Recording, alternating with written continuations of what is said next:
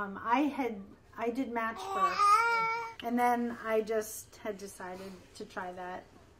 You know, something Had- different. Had someone recommended you to try eHarmony? At the time, I did not know anybody that had used online dating. Uh, and I actually saw the TV commercial that said, you know, the, the founder of the site, uh, Dr. Warren or whatever his name was, used to run TV commercials all the time. And I didn't have anything to do on a Saturday, you know, night, and I just sat down and started filling out the, the profile. I don't even think I finished it the first night. I had to save it and come I back. might find a match through this. Did, did that cross your mind? I went in with no expectations. Um, I just wanted to try something different. I had been in a relationship for ten and a half years prior to moving here, so it was just a way for me to get to know other people in the area. Definitely ready to settle down um, and you start a family and that kind of thing. And how long after the two of you um, signed on to eHarmony did you meet each other? Or did you connect with each Sent it all off. I think it was on a Sunday. The next morning on Monday, I had four ma- matches, and the next day they sent three more. I think Melissa was one of the in those first two days one of the first matches that I was sent. But what you do is you go in and you communicate through the site and say, you know, I- would like to get to know this person better, and they say they do things like ask questions and they give you questions to choose from, and you go back and forth. And the I think the reason we got paired up so quickly is she was like one of the the first person to get back in touch with me. It was probably three or four weeks until we actually met in person. Okay. But But it's we just talked on the phone and through instant messenger and stuff. We, we did. We talked on the computer mm-hmm. and, and that kind of thing first. What did your your friends and family say after you joined the site and, and, and were matched and everything seemed to be going great? What were their reactions?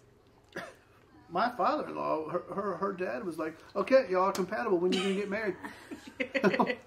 so our anniversary is in June, but we co- sort of celebrate around the anniversary of when we met. Is around Super Bowl time every year. Okay. How soon after um, you met would you say you knew she was the one and you knew he was the one?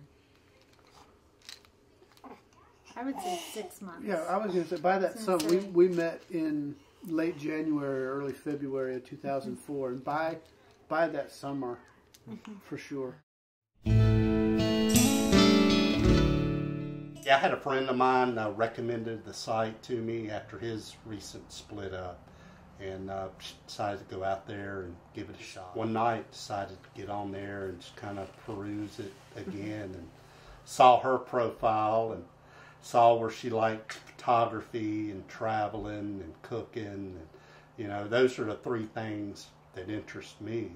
So I figured I'd just send her a quick message and you know see what she was all about. It, um, it, I mean, it asked a certain number of questions, like, um, what are you interested in? Right. You know, what are your likes and dislikes, and but the profile itself was a large box that you filled in, a paragraph, if you will, and you pretty much had free will to say what you wanted.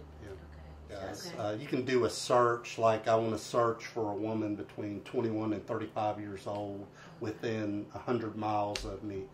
And I then think that's- sometimes weekly, I believe it was weekly.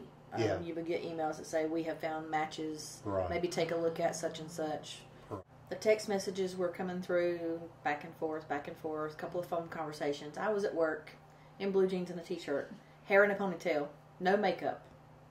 He's texting all day on Saturday and says, "I think we should meet for dinner tonight." And I'm Mhm. like, "Oh crap!" no makeup, hair in a ponytail, blue jeans, t-shirt. If he likes me like this, we're good to go. Yeah. Yeah. So you had been on dates with others, Oh yeah. Right. and they were disastrous, or Yeah. We, Uh, we, we're on camera. No, we're not going to go. yeah, it was bad. Now, how soon after you two met did you let your guard down? um, usually about six months Okay. Was Yeah. kind of a general rule. And, uh, you know, we just, every time we got on phone or whatever, texting, you know, we always had something to talk about. Whether it was, you know, our photography or cooking or whatever. We've always said we were going to have a uh, eggplant parmesan cook-off. Okay. And, and uh, We're still waiting on that one. oh yeah, What did your friends say when you said, "Hey, I met this great guy on Plenty of Fish"? Did did they warn you, caution you, or Here what we go their again. reactions? Here we go again. if he makes it to the third date, she'll probably keep him. And, uh, I mean, she was funny. She was fun to be with. You know, she had a gray head on her shoulders. She felt like someone. You know, if I needed advice, I could come to her for. And you know, it was like after that six months, and she was still that same person I was interested in online. You know, then I knew, you know, this is the real deal.